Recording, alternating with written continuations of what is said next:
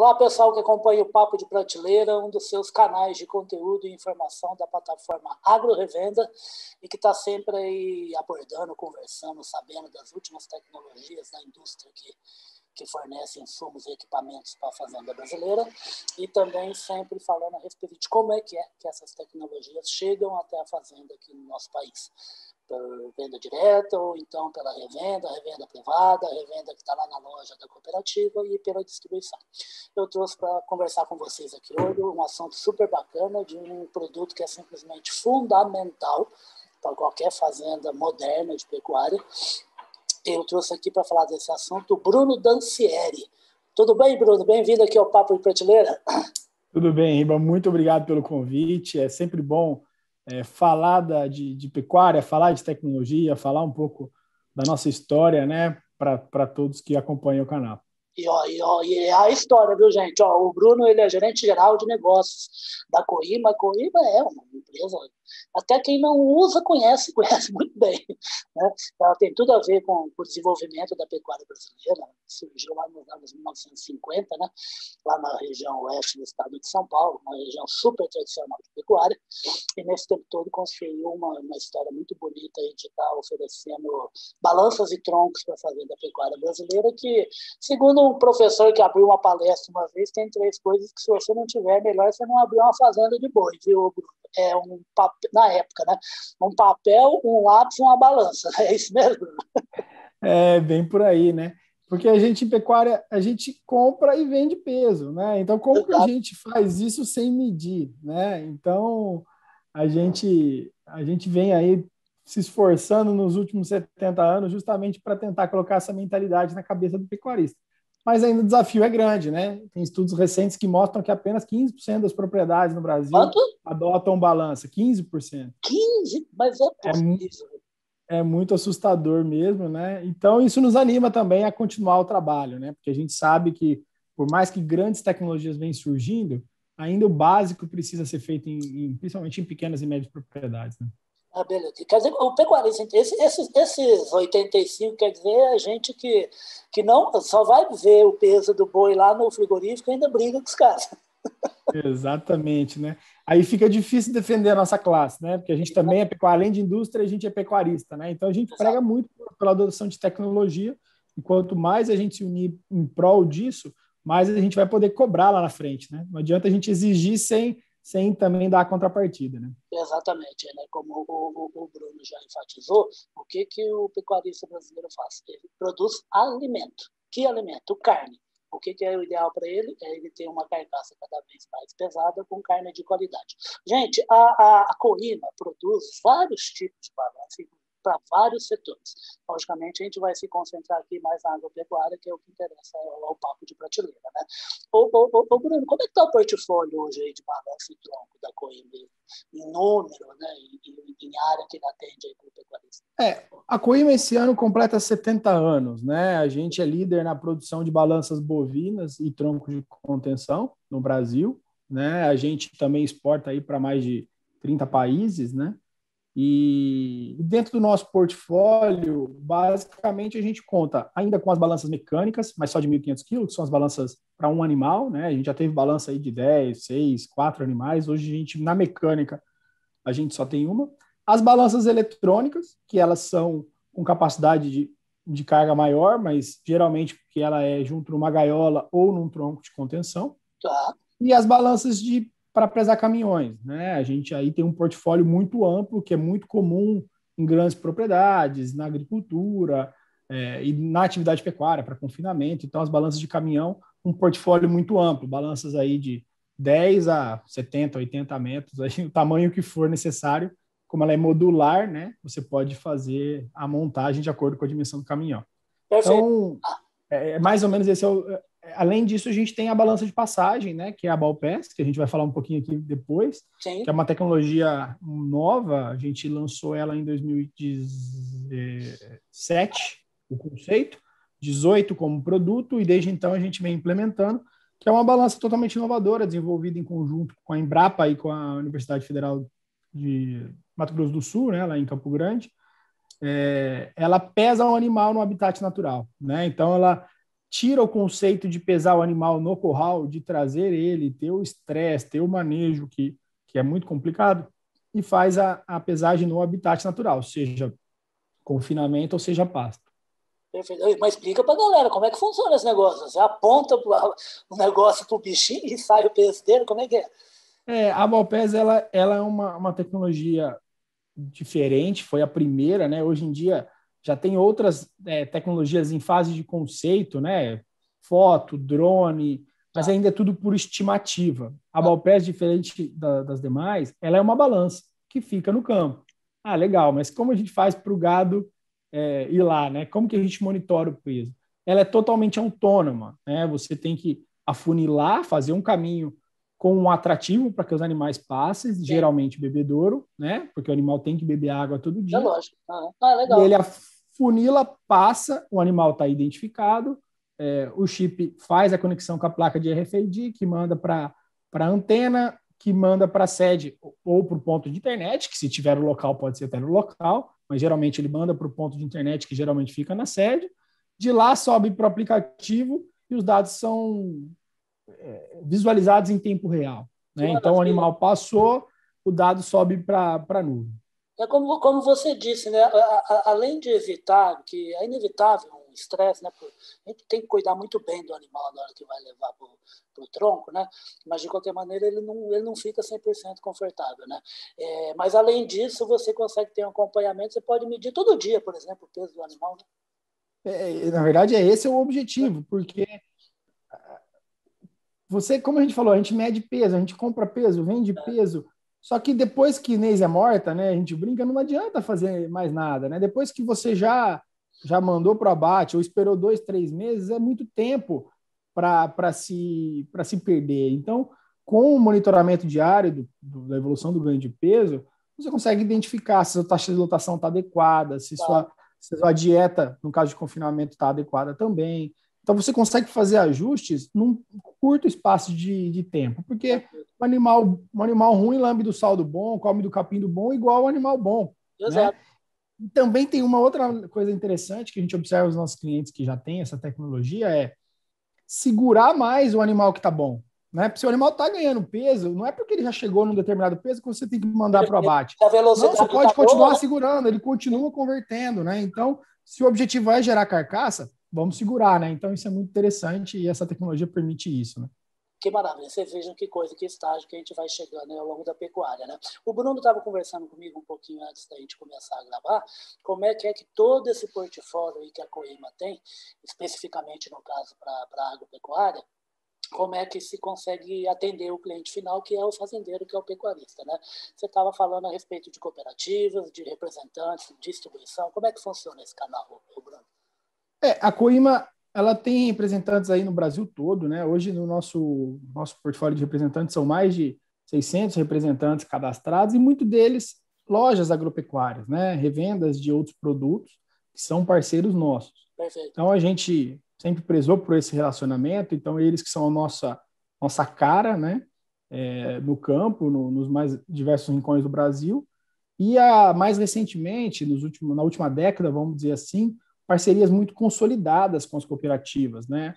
Principalmente, vou citar algumas, mas a Coamo, a Cooper Citrus, a Cocamar e mais recentemente a Canda, elas fazem um trabalho aí muito próximo é, de uma revenda, né? Eles compram esses produtos com uma condição diferenciada e permitem, né, por meio dos financiamentos que o sistema cooperativo permite, é, fazer com que o produto fique mais é, chegue de uma maneira mais facilitada, né, para o cliente, para o cooperado, no final das Exatamente. contas. Então, é uma parceria de muito sucesso, a gente está muito animado, tanto que a gente tem evoluído ao longo do, do, tempo, tentando buscar mais, a gente sempre fica aberto a novos canais, né?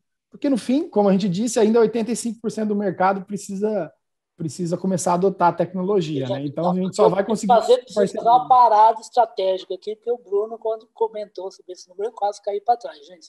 O Brasil é o maior exportador de carne bovina do mundo.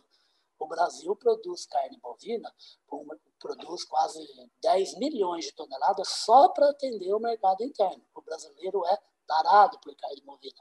O boi construiu o Brasil dos últimos 150 anos, povoou o Brasil, conquistou os territórios do Brasil. E o Bruno falou que 15% apenas dos pecuaristas brasileiros usam balança. É um dado, é um desafio, graças a Deus, né, Bruno? Mas é um dado bem triste, né? É, é porque a gente vê que muitos pecuaristas vão acabar saindo da atividade. Né? Quando a gente faz um, uma comparação com a agricultura, por exemplo, é, ela está bem mais avançada na adoção de tecnologias. Então, você vê pouco é, mais profissionalismo, né? poucos amadores na, na atividade pecuária, né? Na, na, atividade de agricultura. Na pecuária, você já vê mais gente que herdou, que segue a atividade, é, tenta empurrar, mas no final das contas está degradando o ativo, está é, tá perdendo rentabilidade, é isso que está acontecendo. Então, a gente enxerga aí, né, a gente, junto com os especialistas que acompanham esse mercado mais do que nunca, né, mas a gente vê essa, esse, isso acontecendo na prática, é um, cada vez mais um movimento de consolidação. Né? Você vê ainda o pequeno, acredito que vai continuar, que tem uma pequena propriedade, custos enxutos, às vezes com uma estrutura menor, mas o, o, o grande consolidando aquele médio que usa a pecuária como segunda ou terceira atividade. Né? Então, as margens apertadas também fazem com que isso aconteça. Então, esses últimos dois anos, vamos falar assim, né, um ano e meio, é, com alta da arroba e com a sustentação do valor da arroba um pouco mais alto, dá um respiro da atividade para aqueles que têm menos adoção de tecnologia, mas a gente entende que é um caminho sem volta. Quem não, não evoluir, quem não tratar a fazenda como um negócio, vai acabar saindo da atividade. Não, não vai começar cada, cada vez mais ter prejuízo, ou vai degradar mesmo a, a propriedade, a terra, e não vai conseguir tirar aquilo que sempre tirou, e as margens apertadas vão fazer com que eles busquem alternativas e haja esse movimento de consolidação. Perfeito. E, gente, você que é um pequeno produtor, ou você que não acredita nisso, sabe o que é isso, gente? É isso que o Bruno está falando, é informação. E não faltam locais pontos de informação para você saber como toca o seu negócio de maneira mais moderna e tecnológica. Você tem cooperativa, você tem revenda, você tem distribuidor, você tem empresas que fazem um trabalho maravilhoso. Olha só, a Coima com 70 anos atuando no segmento, só crescendo e exportando para 30 países. Quer dizer, lugar onde tem boa informação não falta. E todo especialista fala que você pode perfeitamente ter margem, ter lucro no seu negócio, mesmo que tenha poucos animais, independentemente de ser com leite ou de ser com carne. O Bruno, eu queria, a gente já está seguindo aqui para o caminho final da nossa conversa, que é sempre meio jogo rápido mesmo. O, o, vocês viram que o Bruno citou o trabalho da, da, da Belpa, Belpass, e, e, ele citou a Embrapa e a universidade, né? Isso é uma coisa, uma coisa bacana da empresa, de estar sempre ligado a instituto de pesquisa e a academia para fazer vários dos seus experimentos. Eu queria saber de você que parceria é essa que você montou lá com o pessoal com a APTA, com a APTA, com a agência aí de Paulista de Tecnologias Agropecuárias lá em, em Colina, do grande Resende, do grande Flávio Dutra. Exatamente, né? Os precursores do Boi 777, né? Exatamente. já a gente já escuta aí há um bom tempo. É, eles estão nos ajudando muito a tentar resolver o primeiro set, né? Que é o set da cria. Da cria. Né? O nosso o nosso produto ele não foi concebido para cria. Hoje a gente não comercializa ele para cria porque a gente tem um desafio. Como a pesagem é sem manejo individual, a vaca passa com bezerro ao pé. Então, você, a gente não tem como, a gente até agora não teve como solucionar isso tecnicamente, né? Uhum. E ao mesmo tempo a APTA precisa e quer está intensificando estudos para como desmamar um, um, bezerro cada vez mais pesado, mas também cuidando da vaca. Para quê? Que, a, que, ela tenha uma outra gestação. Uma outra, um outro bezerro, né? Exatamente, porque hoje, quando você desmama um bezerro muito pesado, você tem um problema que você acaba sacrificando muito a vaca que não, às vezes, chega apta a, a, a, a fazer uma nova gestação é, logo logo depois, né? Então, o grande desafio é esse, né? É melhorar, intensificar é, o sistema de cria. Eles tentando entender como pode melhorar, já que eu falei do dado da propriedade, vou falar mais um outro que é do o benchmark que o Shaker ele, ele promove, né? Do Instituto, Antônio Shaker, vamos, o Instituto Integra. Isso. O, a gente fala de 7 arroba, seria aí equivalente a uma média de 210 quilos, né? É, Hoje, as fazendas top rentáveis do Brasil, se eu não me engano, é 164 quilos de bezerro desmamado.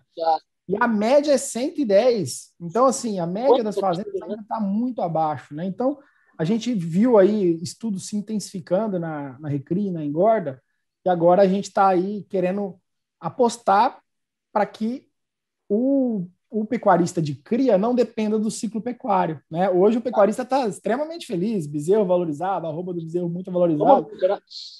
Mas o ciclo da pecuária ele é, ele é cíclico, né? A gente acompanha isso. É, por mais que tem, tentamos é, quebrá-lo, ele acaba não acontecendo. Só vai acontecer com tecnificação, com ganhos de produtividade. Para quê? Para que os ganhos sejam contínuos. E não Planejamento da produção, né? Exato, e não ficam dependendo de, ah, vou ter mais chuva, vou ter menos chuva. Não, é, é de fato intensificar a produção do, do, jeito que, que precisa. Então a gente acredita muito, é, tanto o Flávio quanto o Gustavo, né? São pesquisadores muito renomados e com uma ampla capacidade de nos apoiar nesse projeto e a gente oferecendo dados, né? Porque a nossa plataforma vai oferecer dados que nunca antes foram medidos dado do peso da vaca, será que você consegue identificar um, uma gestação por meio do peso, ao invés de necessariamente ter que fazer um toque? É, e dentro de outras coisas, como que você acompanha a evolução do peso da vaca quando está prenha, né? E depois do bezerro também, como você acompanha esse bezerro? Será que ao vender esse bezerro você não pode vender pelo histórico de ganho de peso, ao invés de simplesmente pela raça, pela genética? A gente acredita ainda um pouco um futuro mais longo, né? Que o, o boi não vai ser mais comercializado pelo peso e pela genética propriamente dita, mas sim pelo que ele pode render. Então você vai comprar um animal pelo histórico de rendimento de ganho de peso e não necessariamente pelo peso e só pela genética. Exatamente, que é para fazer uma boa compra, né? É assim, é o que o Bruno está falando também, é, tem uma outra coisa, que assim, quando junta empresa moderna que está atrás do quê? De resultado do negócio em que ele está inserido, né? E o negócio que ele está inserido tem que também para ele ser uma empresa atuante e está cada vez aumentando os seus negócios. E junta com a academia, com o pesquisador de competência, sabe qual vai ser o resultado? O resultado vai ser de boa solução para o negócio. A gente está chegando bem pertinho do finzinho, mas eu não poderia te perguntar aí para o Bruno, o que, que você consegue dar de cheiro aí de nova tecnologia na área aí de, de balanço e tronco, que a Coima é uma das líderes? É, a gente vem buscando cada vez mais é, sensorizar o campo, né? Então, para permitir que as tecnologias elas cheguem cada vez mais na palma da mão. Acho que o, do ponto de vista de pesagem, o nosso grande desafio agora é consolidar essa tecnologia e permitir que ela chegue num custo mais baixo, para que mais é, produtores possam adotar essa tecnologia. Então, tá. esse é o nosso grande desafio hoje, é baratear o custo dessa tecnologia da Balpesc para levar esse dado que já é indispensável para os clientes, né? escutar dos clientes que não conseguem mais acordar sem olhar o aplicativo para ver como está o peso dos animais, é levar isso para mais gente, porque a gente acredita que quanto mais gente tiver essa tecnologia, mais a gente vai poder ajudar a pecuária a evoluir. Né? Então, esse é o, nosso grande desafio do ponto de vista de pesagem, mas a Coima não para, né? A gente está aí desenvolvendo, vai lançar um novo tronco esse ano, é, também estamos intensificando bastante na nossa divisão de balanças rodoviárias. A gente quer crescer bastante nesse segmento que é muito forte e variado, né? Muito forte no agronegócio, mas também fora do agronegócio. Então, os grandes desafios aí, por enquanto, que a gente pode revelar são esses. Ô, ô, Bruno, eu nem devia fazer mais perguntas, que a gente está estourando, mas não tem problema não. Só mais uma coisa, eu até achei que você fosse citar. E também a integração do dado né, obtido pela tecnologia Corima com, as, com o, outros pontos né, de informação e de comunicação, e é lógico que é TI, né, de uma propriedade, né, como, por exemplo, a fábrica de ração, se ele tiver, né, a, a dieta que está lá na mão, de está lá no, no computador de algum do, dos técnicos do pecuarista, né? Exato. Como, como eu disse, a gente quer buscar cada vez mais, é, é, a gente é indústria, então buscar cada vez mais fornecer device, fornecer é, hardwares para sensorização de campo e permitir, em parceria com as empresas de software, né, a gente tem uma versão de software para para a questão do peso, mas buscar a integração com chuva, com luminosidade, com previsão do tempo, com qualidade de solo, enfim, com diversas possibilidades que a gente não... falta, né? É, diversas tecnologias que a gente ainda nem sabe, né? A gente nem, nem tomou conhecimento, mas que com certeza vai revolucionar a forma de tomar decisão no campo. Né? O olho vai ficar cada vez tendo menos valor. Né? Exato. O, é, aliás, é, é, é, muito romântico, é muito poético e já foi muito bonito isso. Né? Mas o, o, olho, o olho continua olhando depois de olhar bastante os números, né? os, os últimos Exatamente. da equipe. Né? Até porque o Bruno estava falando a respeito de o conhecimento é uma coisa muito bacana, que Quanto a gente mais conhece, mais coisa tem para conhecer e é cada vez mais gostoso conhecer. Né? Então, o Bruno citou que de manhã o cara se acostuma a estar tá, tá de olho em número, em aferição que foi aferido, ele sempre acorda tarado para ir lá de novo ver o que, que dá, porque, o que, que dá para melhorar na fazenda. Né? Tava até me lembrando uma frase do, do Bruno deve conhecer, que é o, o Moacir Corse, lá da, de Piracicaba, né? um, um gênio nosso de, de, pastagem, né? E ele falou numa palestra assim: o custo custa, mas sempre dá para baixar o custo do custo. então é isso. Negócio é informação, atenção, equipamento para te encher de informação, você vai pegar as boas e transformar isso em lucro do seu negócio. Bruno, eu queria agradecer demais a sua presença aqui no Papo de Prateleira, rapaz. Muito obrigado, Iba, de novo pelo convite. Eu queria deixar aberto um convite para as pessoas irem até os nossos representantes, as cooperativas parceiras, entrarem no nosso site, buscarem informação. Agradecer a Coima se baseia aqui em Dracena, interior de São Paulo, mas a gente tem filial é, no Pará, a gente atende em todo o Brasil, está completando 70 anos, vai vir bastante coisa legal ao longo deste ano. Então, peço para que acompanhe a gente nas nossas redes sociais, no nosso site, que vai vir bastante coisa bacana. E agradecer de novo o convite e ficar sempre à disposição de vocês. Então, a gente tem tanto assunto para conversar que eu faço de propósito, não pergunto algumas coisas, por quê? Porque o Bruno vai voltar. Estamos num ano espetacular da pecuária, mas também um ano de atenção para a margem, e isso a gente só consegue quando a gente mede muito bem todos os pontos de produção de uma fazenda, né? Então a gente volta a falar com o Bruno de novo sobre balanço, sobre pecuária, sobre eficiência lá na fazenda brasileira.